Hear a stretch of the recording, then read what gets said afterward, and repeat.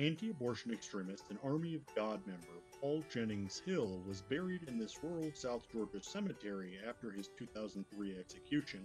Because he was killed by the state for his murders, he's become a martyr to the mostly leaderless Army of God, who sees him as someone who took action to kill an abortion provider who, in their estimation, had already killed thousands.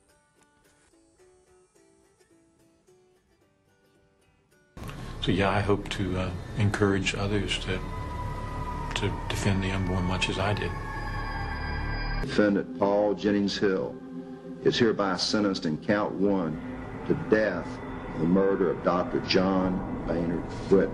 Is hereby sentenced in count two. When the prosecution first announced they were going to be seeking the death penalty, the, the heightened threat definitely served to increase my joy. it really did. On July 29, 1994, Paul Jennings Hill unloaded a Mossberg 12 gauge shotgun into an abortion provider and his bodyguard, a retired lieutenant colonel, at a clinic in Tampa, Florida. Both died, and the wife of the lieutenant colonel was injured. Paul then laid his gun down and waited to be arrested. After being sentenced to death, governors of Florida ignored the warrant until Jeb Bush signed it in 2003. Months later, he was executed via lethal injection. He seemed at ease with his decisions and was supported by his spiritual advisor, Reverend Donald Spitz, one of the leaders of the Army of God.